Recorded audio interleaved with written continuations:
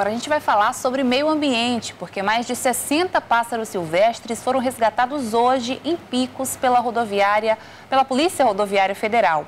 Eles estavam sendo transportados na bagagem de um passageiro de ônibus. Vamos ver.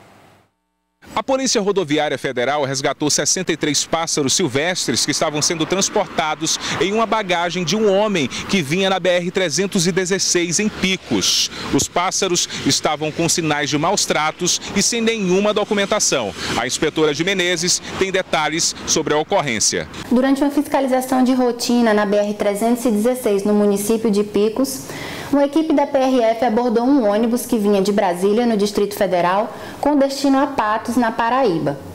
Ao realizar a fiscalização no compartimento de passageiros, já nas últimas poltronas, os policiais encontraram duas bagagens. Dentro dessas malas, havia 63 pássaros silvestres sendo transportados ilegalmente. Quando questionado, o passageiro proprietário dessa, dessas bagagens informou que transportava esses, esses animais sem qualquer licença e que havia comprado as aves no município de Ceilândia, no Distrito Federal, e que levaria até Patos, na Paraíba.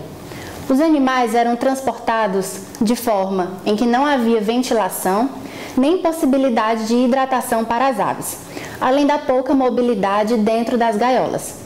Esse passageiro foi encaminhado até a Polícia Civil e assinou um termo circunstanciado de ocorrência em que ele responderá pelos crimes ambientais, dentre eles o crime de maus tratos.